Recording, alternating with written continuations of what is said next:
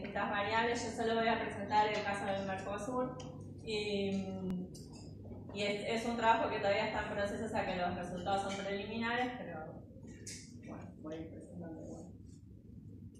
Eh, ¿De dónde surge lo de analizar los regímenes eh, regionales? Como les decía yo durante mi doctorado, analicé eh, políticas forestales internacionales. Lo que, eh, lo que se analiza es que a nivel internacional no hay un régimen forestal eh, como puede ser como con el cambio climático, donde hay un, régimen con una política legalmente vinculante para los países.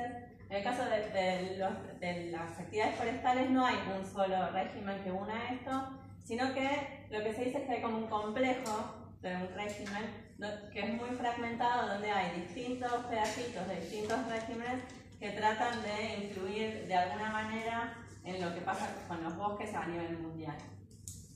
Em, el, gráfico ese surge de un trabajo que hicimos durante mi doctorado sobre cuáles son esas disciplinas que trataron, aprovechando desde nuestro punto de vista la ausencia de este único régimen forestal, de ir cubriendo el tema de los bosques desde lo que fue el clima, desde lo que es la biodiversidad, aspectos sociales, comercio, eh, procesos incluso que incluyen actores privados como el proceso de certificación forestal. Voy a sentar porque no veo. Eh, y bueno, este, este régimen, o sea, incluso autores que dicen que es un no régimen, donde se pusieron de no es que no hubo un acuerdo para hacer un, instrumento legalmente vinculante, sino que hubo un acuerdo de que no haya. Y, y bueno, este régimen lo que trataría de hacer es influenciar a partir del nivel internacional lo que pasa en el terreno, lo que, lo que sucede en los bosques en los distintos países. Eh, el tema de que ese régimen sea tan fragmentado hace, tiene como dos efectos. Por un lado, que los países pueden hacer como, en algún lado leí que lo llaman como un eh, shopping, donde pueden ir y buscar de todo eso qué es lo que a mí me sirve. Entonces, me, sirve cambio climático, voy por red, o eh, los mecanismos de desarrollo limpio, o dentro de biodiversidad me sirve este protocolo, este protocolo no me sirve. Y eso varía mucho con los países y con la situación de cada país. Entonces, eh, lo que se, veía era como que a partir de ese gran global régimen no se estaba llegando tanto a nivel nacional. Entonces surgió esto de, se enfatizó más en la idea del regionalismo y de crear regímenes que sean más locales, que contemplen las realidades más locales y a partir de estos pequeños regímenes llegar al nivel nacional.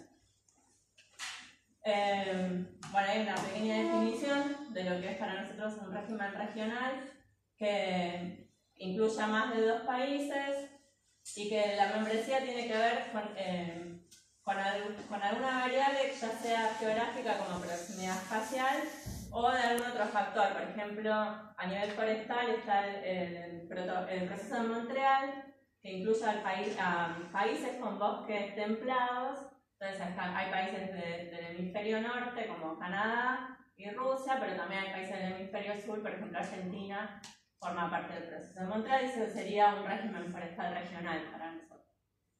También hay otros procesos que sí son más locales como el Forest Europe, que trató de generar un...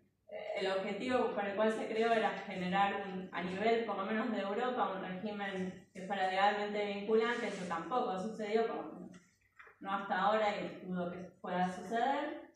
Pero bueno, generaron un régimen que tiene que ver con una característica geográfica.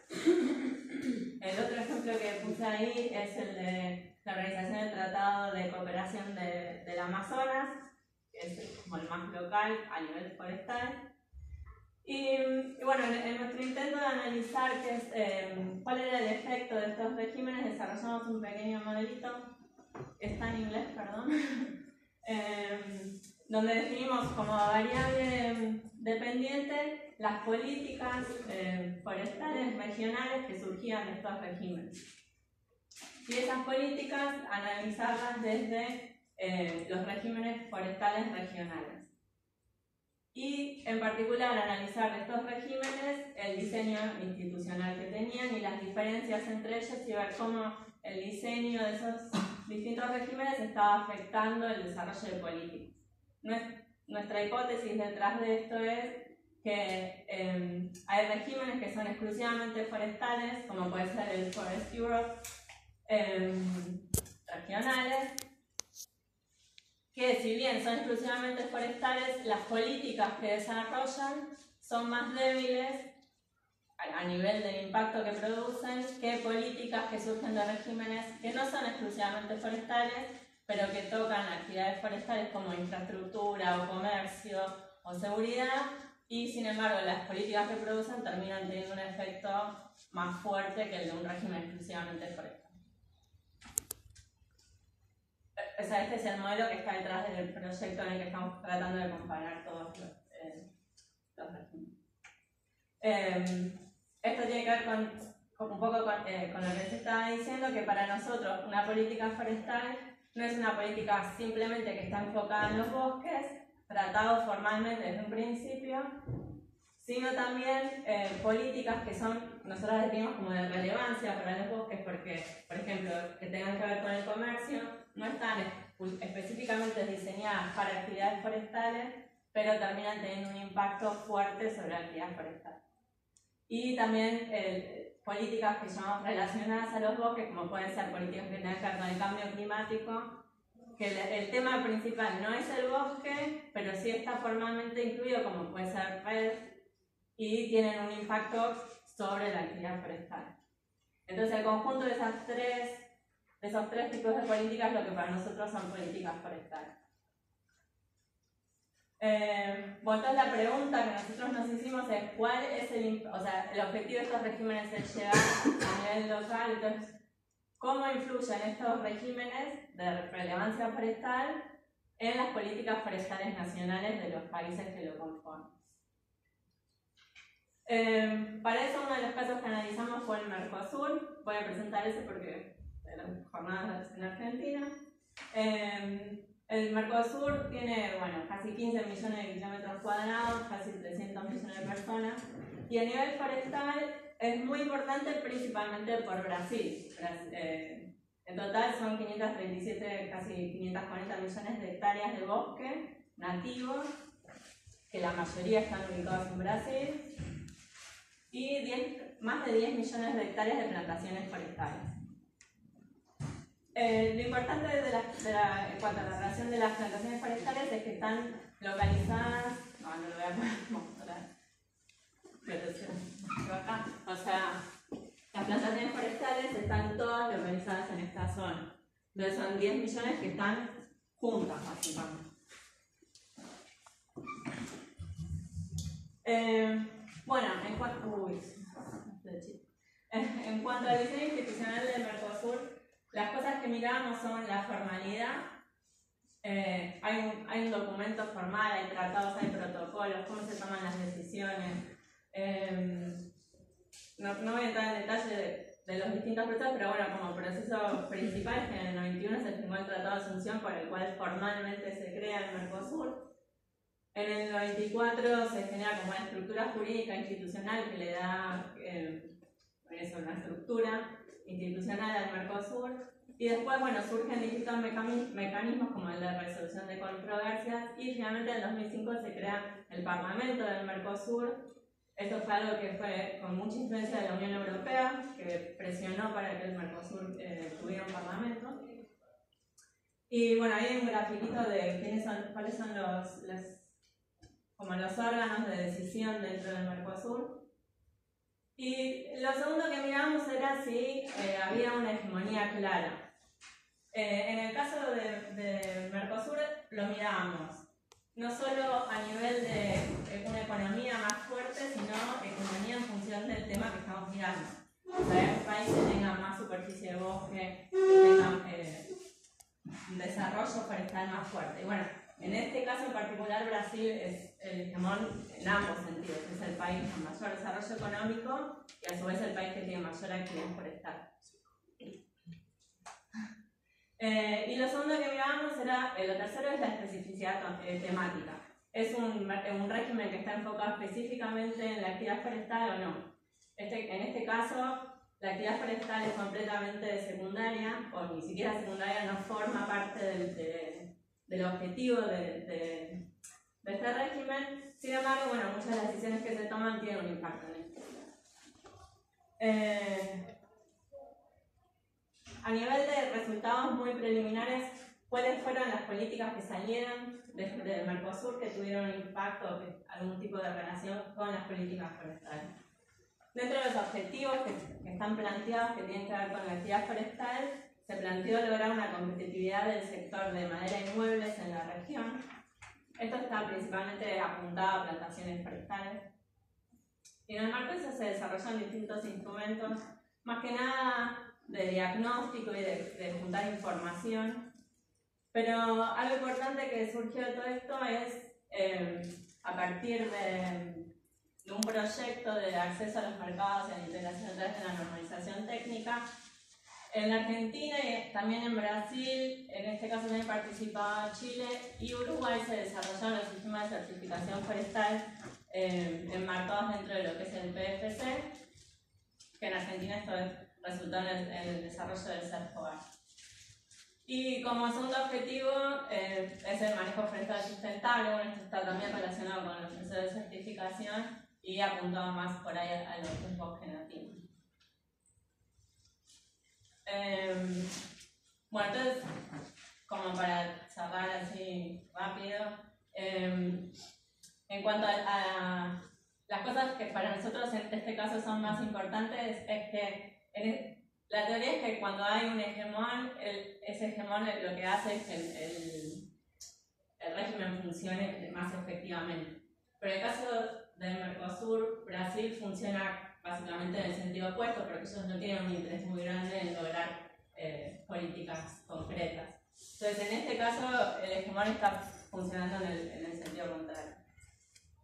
Eh, en cuanto a la especificidad temática, relacionada con el otro mecanismo que está en América Latina, pero que es específicamente forestal, en ese caso lo que se observa es que también es Brasil el que está frenando que, que salgan políticas fuertes relacionadas a la actividad forestal. Y eso hace también que haya una gran diferencia entre lo que es el discurso que, que hay detrás del régimen y lo que es la implementación de las políticas que surgen. Y bueno, de los resultados preliminares, como la política más importante que surgió de esto fue el desarrollo del Cercoal para Argentina y los mecanismos similares en los otros países del. Ah, bueno, gracias. Bueno, muchas gracias.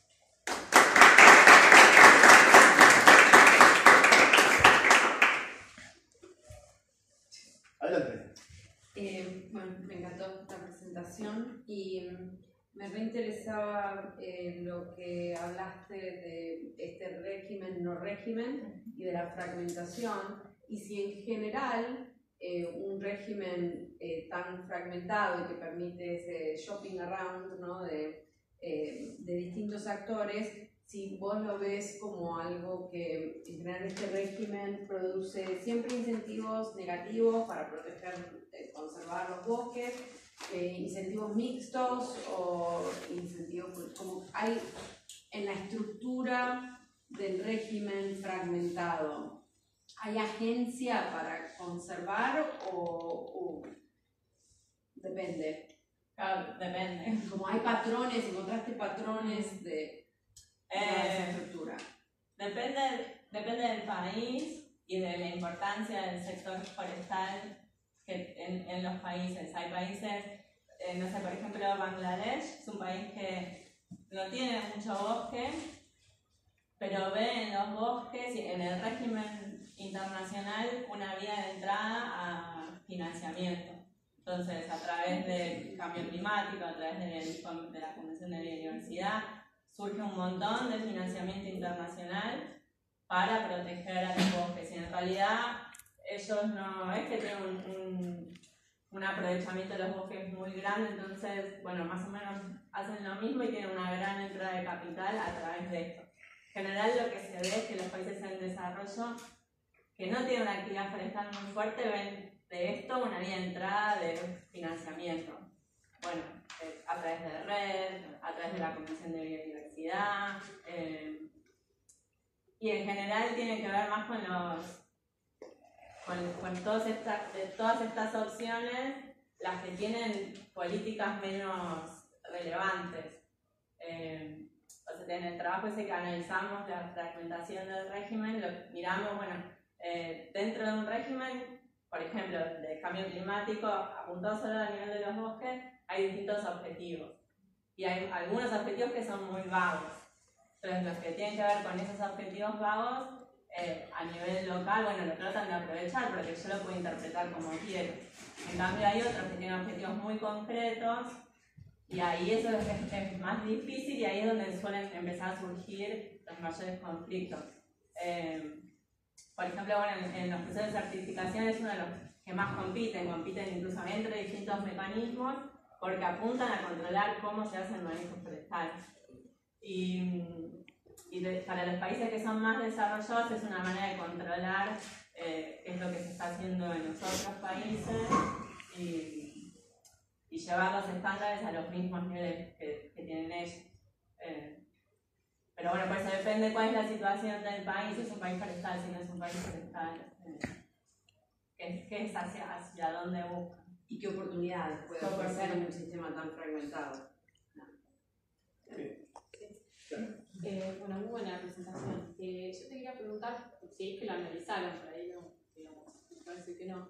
Eh, comparativamente qué pasa con los instrumentos, con la normativa voluntaria internacional, eh, o puede ser certificación, o puede ser responsabilidad social, o puede ser lo que sea, en relación con los objetivos. Hay muchos que se comparten, ¿no? En lo que es instrumentos internacionales, porque las normativas voluntarias copiaron de alguna manera un montón de principios o de estructuras que tienen los otros instrumentos. No entendí muy bien la pregunta. Claro, ¿viste la normativa voluntaria? Que son las guías, se hizo 26000. Sí, como las de certificación. Claro, mencionaste recién de certificación forestal, o puede 14001, comparten un montón de principios y no son los mismos muchas veces que los instrumentos internacionales, que a veces no son vinculantes para los países, pero que de alguna manera cumplen la misma función. No sé si lo analizaron o vieron algún aspecto. Analizar cuál es el impacto de Sí, sí comparativamente a nivel de aplicación, ¿no? Digamos, porque en realidad cumplen la misma función respecto de las mismas cosas, ¿no? Lo, que, lo que yo veo de los mecanismos de certificación es que, bueno, justamente como es voluntario, lo hacen las grandes empresas que igual tienen la presión para, para hacer, para desarrollar eso. No sé, te, imponen que tengas todo en blanco, por ejemplo. Bueno, igual lo tienen todo en blanco, no es que, que lo hacen para certificar. Hacen algunos cambios, sí. pero en general son, no, modifican mucho lo que ya estaban haciendo. y de hecho, bueno, cuando se analiza todo esto también se compara qué, qué tan efectivos son estos procesos. Efectivo en, relación a qué? A lo que se plantearon como objetivo original, porque por ejemplo la certificación se creó para frenar la deforestación en países tropicales. No, no, fue efectiva, no lo lograron porque en bosques tropicales no hay fácil certificación. Lograron otro objetivo, que bueno, que tiene que ver con, eh, con desarrollarse como institución, con, crecer, toda, toda, Europa está certificada, eh, o sea, han logrado otra cosa, pero que no tenía que ver con el objetivo por el cual fue creada. Sí, muy bueno. Eh, tendríamos que continuar con... Ah, Juan. Le tengo miedo. Me interesó mucho el me parece mientras hablan. Usarse el término países forestales y no forestales, y me gustaría saber si hay algún país que se. ¿Cómo, cómo se hace esa clasificación? No, bueno. ¿Sería algún país en Sudamérica que calificaría como forestal? Bueno, en cuanto a superficie, Brasil es el país. Y, en cuanto a actividad forestal, también Brasil es el país. Y de hecho, Brasil fue uno de los que más frenó que se desarrolle un, régimen o un, tratado legalmente vinculante como fue el de cambio climático. Ellos están completamente opuestos y si ellos dicen que no, con la superficie que tienen ya alcanza para que no... O sea, eran ellos, era Indonesia, que también tiene un montón de superficie. Eh, esos son los, los países forestales. Después también en relación a, a cuánto aportan al PBI de un país. Pero bueno, eso también es un dato muy mentiroso porque, por ejemplo, Bangladesh, el aporte de, de, de la actividad forestal al PBI es altísimo, justamente porque meten dentro de la actividad forestal toda la plata que reciben de los. ¿Y en Chile? Quiero hacer una economía. Pero que, ¿cuál es la- Digo, como incidencia dentro de lo que son las políticas públicas forestales, en Chile es la segunda economía del país. Digo, eh, eh, eh, no sé si en el análisis lo pudiste ponderar o, o Pero que de como políticas forestales. Sí, es un país forestal. Si es un país forestal, Claro, claro. eh, Por su peso económico, me parece que dice, ¿no? Que es- Claro, la segunda O sea, sí, el- el- Chile es un país forestal, es una de sus actividades principales. No estaba tan, a- por ejemplo, con el, en cuanto a, a un mecanismo legalmente vinculante, no sé si, si hubiesen estado completamente opuestos. Igual eh, a nivel interna, a nivel mundial no es uno de los países que preocupan, o sea, cuando eh, los países de la Unión Europea tratan de generar estos mecanismos, no, no están pensando en Chile, interesa a Indonesia, interesa a Malasia, interesa a Brasil. eh, O sea, poner énfasis en bosque nativo, no, no en... Bosque nativo y bosque tropical a nivel internacional es lo que más. eh, la preocupación más grande tiene que ver con eh, los bosques tropicales. Pero sí, si yo tengo que hacer una clasificación de países, a Chile lo pondré como un país forestal. Bueno, muchas gracias Sara, un aplauso. Bueno, voy a presentarles eh, a los próximos colegas investigadores, eh, a Clara Minaberri, del INEDES CONICET, Universidad Nacional de Luján, y a Raúl Mastranda, de, del INEDES también. Exacto, el título de la ponencia es Vacíos legales en la protección jurídica de los bosques nativos en los instrumentos internacionales y su implicancia en la Argentina. Bueno, en realidad nuestra ponencia se basa eh, fundamentalmente en los vacíos que existen a nivel internacional y la proyección que pueden tener en la República Argentina, para bien o por carencia. Los objetivos que se concentran fundamentalmente son los aportes realizados de- desde el ámbito internacional en relación con la protección jurídica de los bosques nativos, el funcionamiento de esos organismos internacionales en cuanto a la influencia que pueden llegar a tener sobre la gestión de bosques en cada uno de los países. Y focalizamos especialmente en los vacíos legales que existen en el ámbito internacional, que fue más o menos lo que se vino hablando por lo menos desde la mañana en ese, en ese tema, para ver de qué manera se pueden subsanarse y si la, la normativa argentina de alguna manera logra mejorar esos aspectos.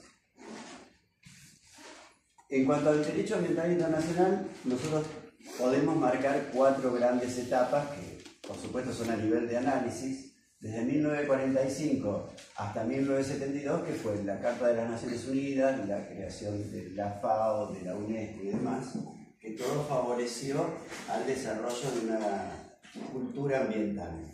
De la segunda etapa, del 72 al 92, ustedes saben que en el 72 fue la conferencia de Río, de, perdón, la conferencia de Estocolmo, donde eh, se dio el informe Brundtland, el famoso informe que después está prácticamente copiado en el artículo 41 de nuestra Constitución sobre que la utilización de los recursos de las presentes generaciones no debe afectar a las generaciones futuras en el aprovechamiento de esos mismos recursos. Y esto se aplica fundamentalmente en bosques. La siguiente etapa sería desde 1992 a 2002. En el, en el 92 hubo un cambio de paradigma. Ese cambio de paradigma se determinaba fundamentalmente de pasar de una percepción eh, antropocéntrica a una geocéntrica. Y después, la cuarta etapa es desde la Cumbre Mundial para el Desarrollo Sostenible de Johannesburgo hasta el Acuerdo de París del 2015. Lo fundamental de esto es que se tiene como cuestión central el cambio climático y la ayuda que dan los bosques a lentificar o disminuir ese cambio climático.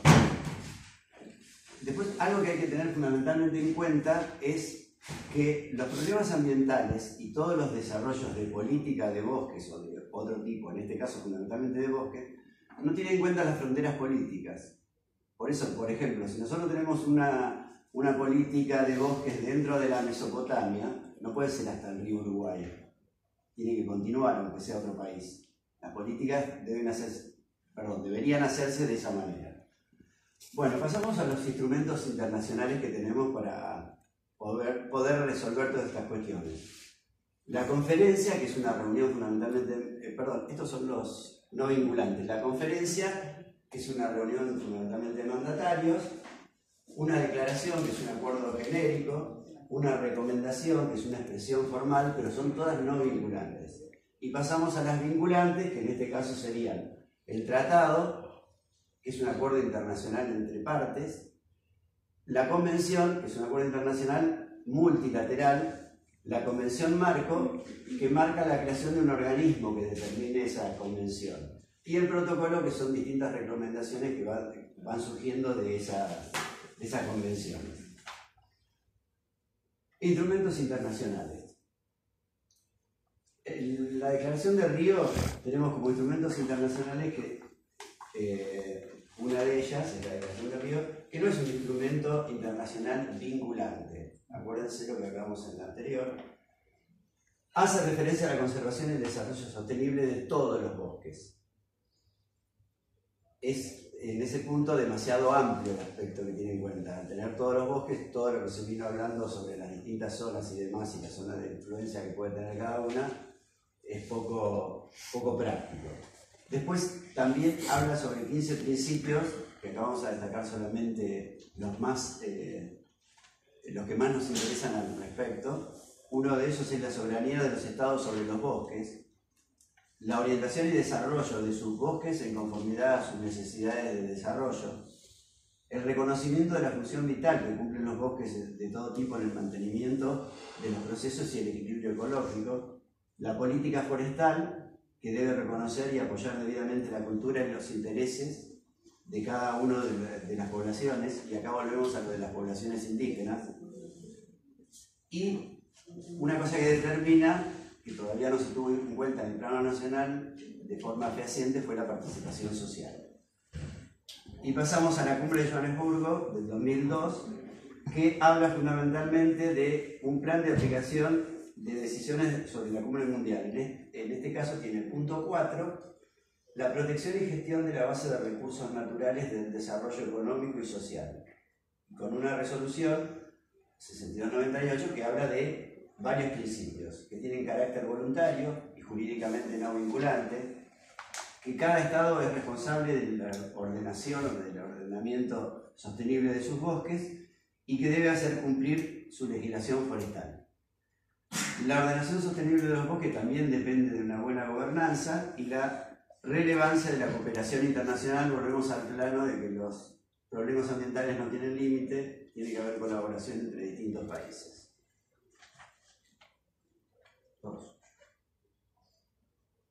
Eh, bueno, para seguir un poco con lo que comenzó eh, Raúl, la idea es darles un pantallazo en general y ver cuáles son eh, los vacíos que encontramos. Después vamos a hablar también de políticas nacionales forestales, que también son escasas.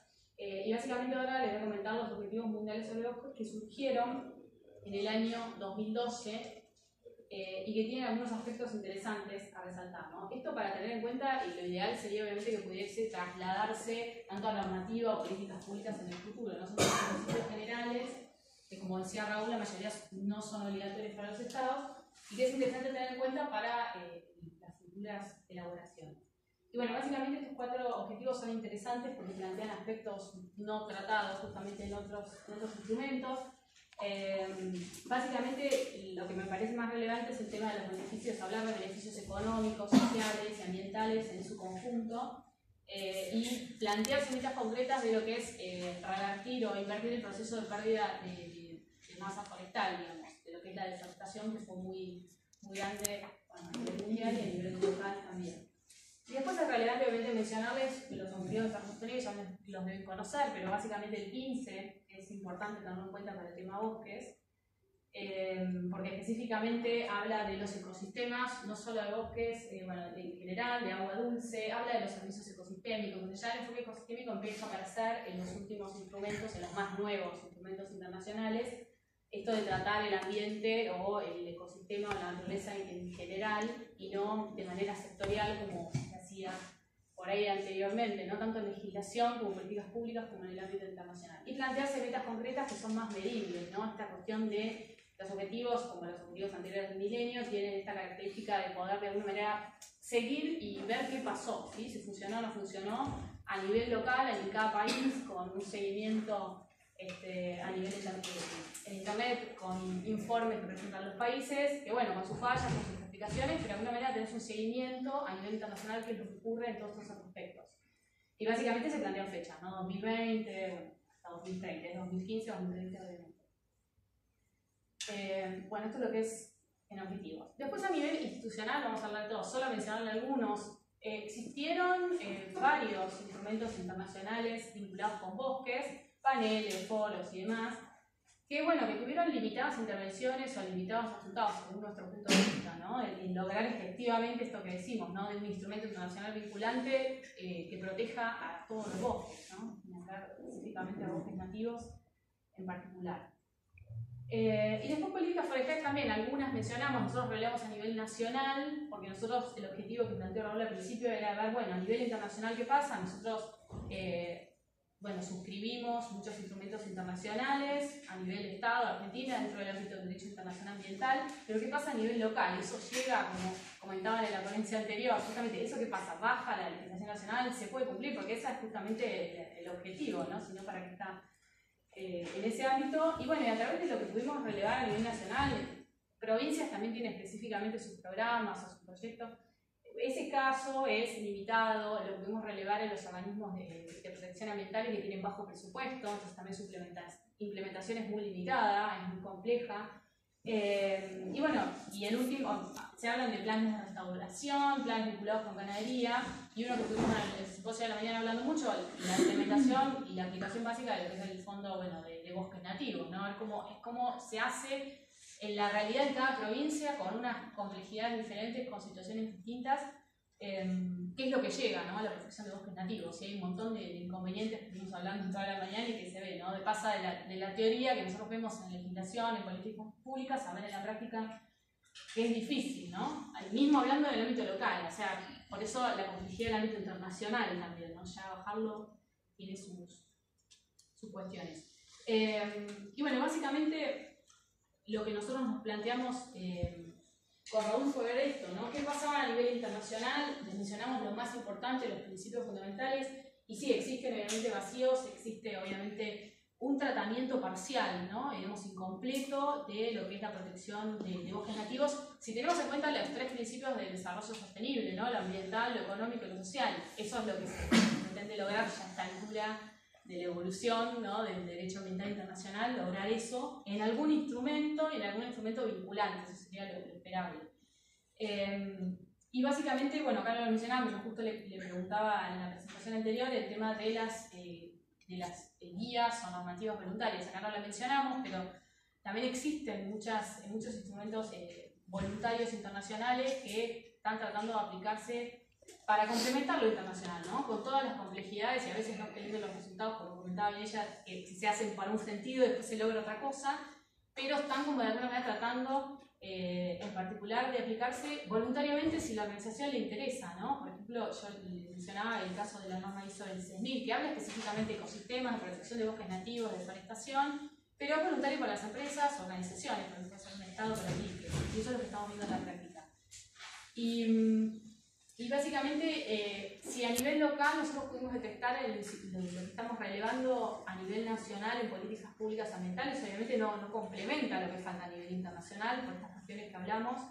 Principalmente eh, el tema de la ejecución, ¿no? Pero existen algunos programas que después los resultados, no sé, cuando los relevás en los organismos públicos ambientales no, no obtenés nada, o muy escaso el desarrollo.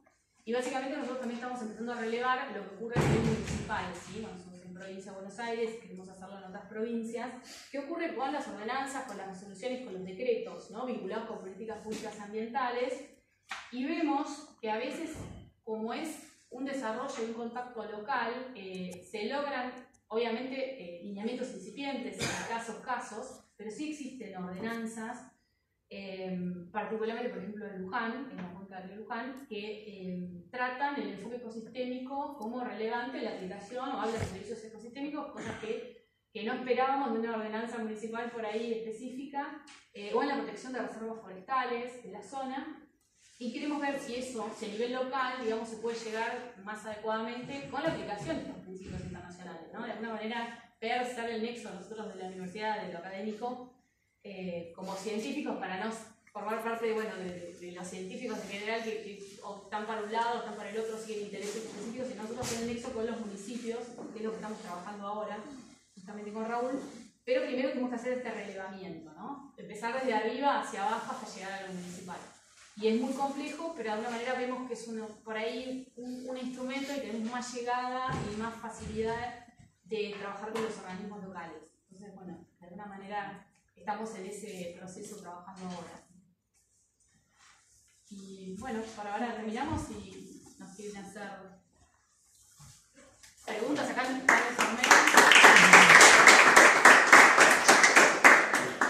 Bueno, muchas gracias. Eh, yo tengo una pregunta, pero quisiera saber si ustedes antes tienen alguna. Por allá. Tres preguntas. La mía la dejo al final.